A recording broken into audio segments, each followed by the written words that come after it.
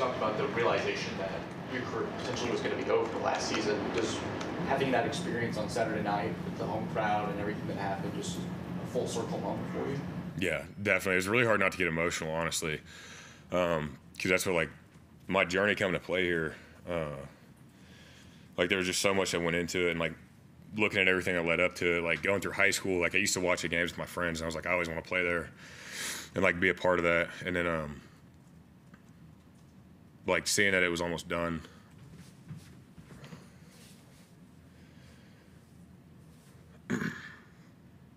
Sorry, I'm good.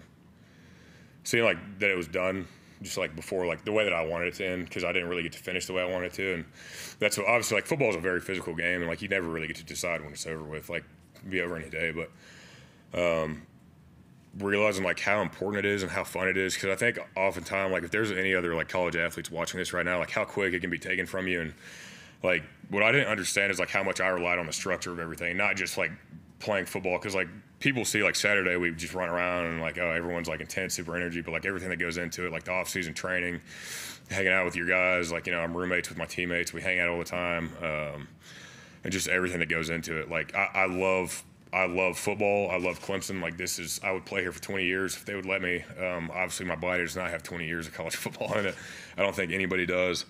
But I mean if there was no eligibility I would stay here forever. And that's what I mean it, it's impossible to describe like the feeling of being able to do all that stuff and the privilege that it is. Because I think oftentimes like that's what Coach Luke talked about. And it's so true. Like, there's not a lot of people that want to strap it up on a Tuesday and put full pads on after playing a game, and then go out there and practice for 20 periods, and then do conditioning, and then wake up and do it again the next day, and then go play another game, and then do it the next week, and the next week, and the next week, and continuing on. And I think like before the injury and understanding how special. And don't get me wrong, like I, I, never took it for granted. I always loved it, but I didn't like truly understand how important it is, how much of a privilege it is.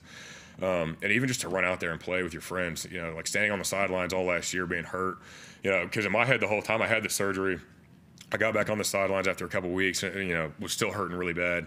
I was like, all right, I don't know if that one worked. Like, if I have the other one, that'll take another year. Then I can maybe come back after that, working my way into it. So, just the fact of like being able to work through it and, and get through it over the past year and go through camp and then play the first two games and you know pray that I stay healthy and you know work to stay healthy and play the rest of the season. It's it's incredible, absolutely full circle because where I was at a year ago couldn't be farther from where I'm at today. You know, I'm very blessed and very thankful for that.